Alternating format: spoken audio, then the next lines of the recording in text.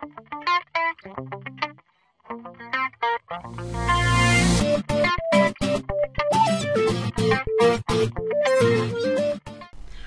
everybody, this is the Juli1241 from YouTube here. Now today I'll show you a video how to change the letters of your keyboard. I don't mean that you'll change the whole keyboard, but input of your text uh, in uh, your computer or whatever. So type the letter G for example in the keyboard, but in the screen it will be another letter.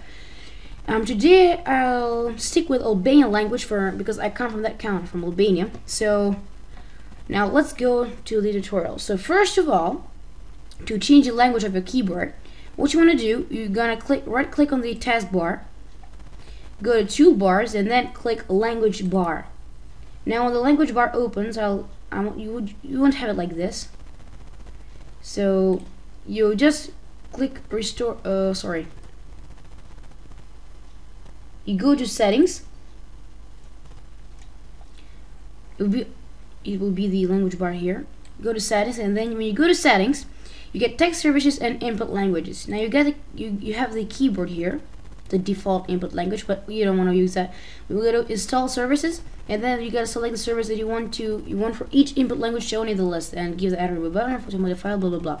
So I have English for keyboard the input is gonna be English but today I'll add the uh, the Albanian. So in the here in the input language, you gotta click this button here, this uh, scroll down. Find your language here, whatever language you are. I'm Albanian. Keyboard and layout IME is gonna be Albanian because I want to have the Albanian keyboard because if I if I say like I want to have the Boston example, that will be different uh, different places of the letters. So I'll select Albanian, hit OK, and I have two keyboards, one Albanian and one English. Click apply and hit OK. Now it's disappearing. So right click again. No, it disappeared. So right click it and I'll select the restore the language bar. There you go here. I restored it so you can see it. Now you have the English United States here. What is the default right now? But I'll change it to Albanian. You have the the first two letters of your country where you come from. English, EN, Albanian, we Albanian say Shqipëria, so it's SQ. I'll select Albanian and to verify that this works, now this is the this is what you're gonna see at the beginning of the working when you select the toolbar.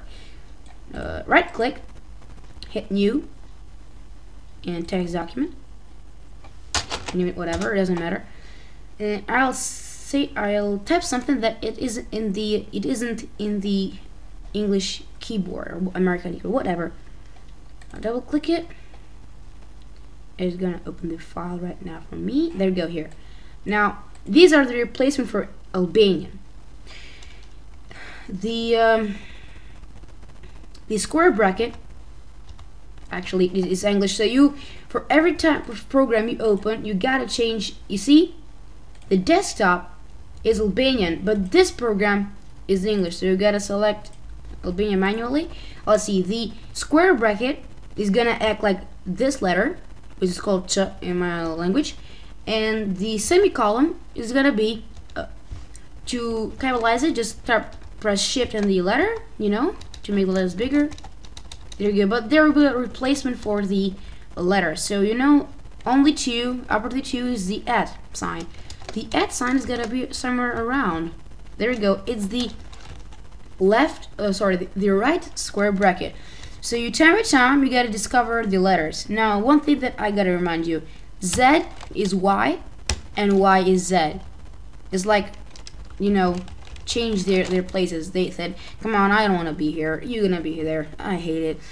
So thanks everybody for watching. This was my tutorial. From now on, I'll make some kind of more tutorials because I like making tutorials, so that's it.